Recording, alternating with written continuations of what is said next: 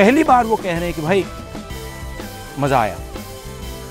और मैं ये जो मज़ा है, हिंदुस्तान के हर व्यक्ति को देना चाहता हूँ।